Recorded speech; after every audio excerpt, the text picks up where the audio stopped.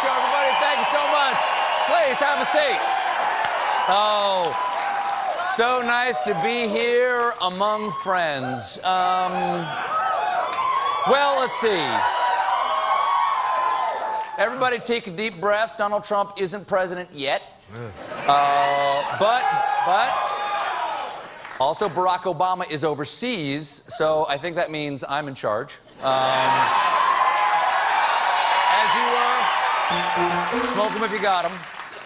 Uh, Obama has left the country because uh, he's not an idiot, and he, he's overseas uh, trying his best to convince foreign leaders that Trump will be a responsible, pragmatic president. Then those leaders can fly back over here and try to convince us because I still have my doubts. You know, give him a chance. You know, give him a chance, like a, like a game of chance. Uh, Trump certainly feels like a crapshoot, I'll tell you that much. Um, here's one of the reasons why uh, Barack Obama has not entirely calmed me down. Jim, can we show uh, the footage when Obama and Trump were in the Oval Office again? We now are going to uh, want to do everything we can to help you succeed because if you succeed, then the country succeeds. Okay, first, I would have more confidence if you could say that without looking like you were passing a 65 pound kidney stone. Second, uh, if he succeeds, we all succeed. You know what he means by success, right? Have you seen the successory poster on his wall? Make zebras great again. now, Obama is in Greece right now, and uh, I really think Europe is going to miss Obama. And if Trump pulls out of NATO, uh, Europe is really going to miss Europe.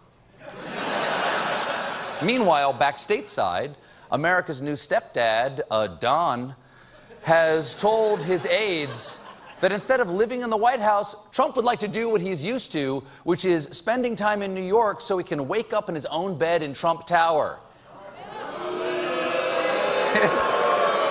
this, is, this is the first president who considers living in the White House slumming it. 132 rooms, 55,000 square feet, I'll pass. Does President elect Trump not understand the number one job requirement? It's right there in the Constitution. Must be willing to relocate. Look. Just Don, this is personal. This is, no, no, look, this is personal. On behalf of 8 million people, please don't come back every week to New York. I am begging you. Please.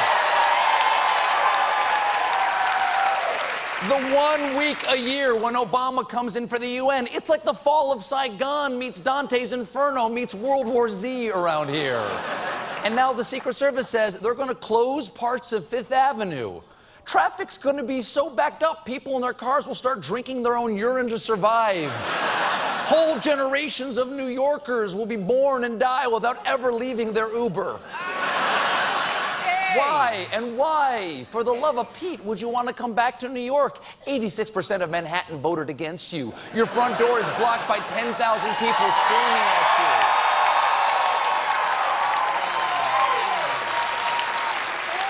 And plus, I've been there. The White House is very nice. It has 35 bathrooms. You could sit on the same toilet Lincoln tweeted the Gettysburg Address from. I've been honest to God. Fifth Avenue. That's that goes down the center of the island. That's like a doctor saying, "We're just going to take out your spine. Everything else is going to stay." Right. It's true.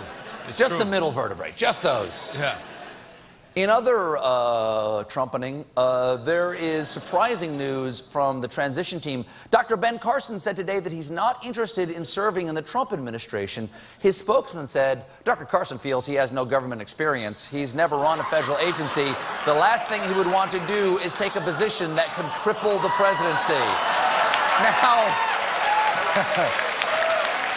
hold on a second. Just wait a sec. Hold your horses. Didn't Ben Carson run for president? What was his plan? Resign on day one? Did I miss something? I don't know what the Was his campaign slogan Carson 2016, I will cripple the presidency? That makes no. I will. I will cripple the presidency. I will. I will do it. I will. You must. Marco. That's a good Marco. caution. Marco.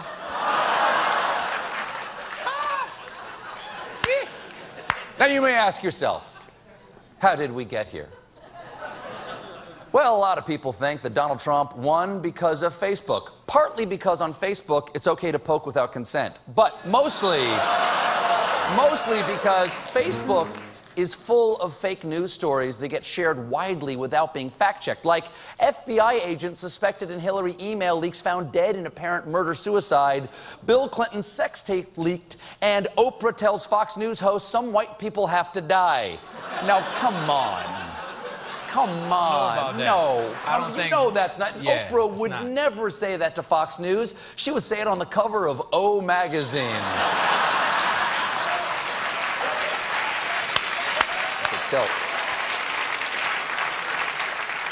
But these fake stories were shared all over the place, which is a problem because studies say that 44% of adults get their news via Facebook, which explains the new senator from Colorado picture of a minion saying, talk to the hand.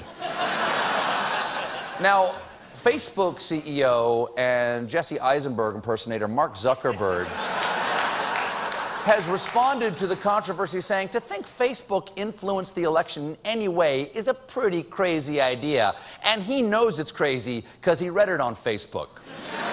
so, just where are these stories coming from? It turns out that a hundred different sites came from teenagers in one small Macedonian town who were looking to make money online and found that the best way to generate shares on Facebook is to publish sensationalist and often false content that caters to Trump supporters. Which brings me to my new segment Hey, Macedonian teens! hey, hey, hey, hey, Macedonian teens! Knock it off! Why can't you just do normal teenager stuff like put M80s in mailboxes or get to third base behind the Hardee's or steal a mannequin and set it on fire in the woods? And that has been Hey Macedonian Teens. Now, there is some good news. There is some good news. As of today, Facebook will restrict these fake news sites. Now they're going to restrict them. Also, while we're at it, let me just close these barn doors so those stupid cows can't get back in. Enjoy your field, stupid cow. Now, I lock that. I lock that. I need that. I need that right there.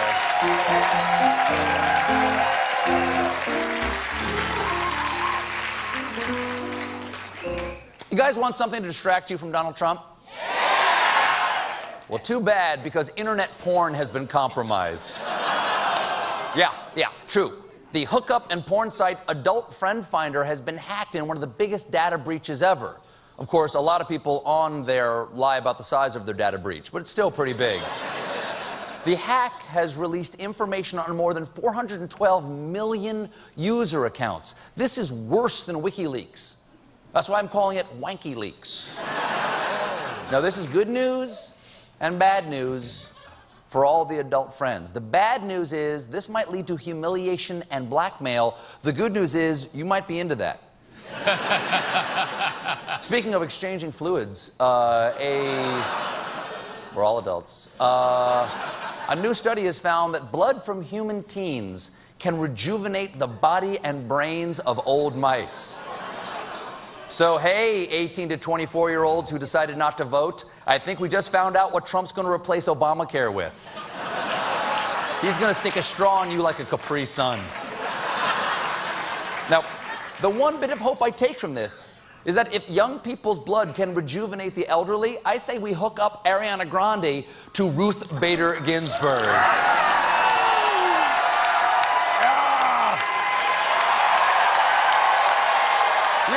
Show for you tonight.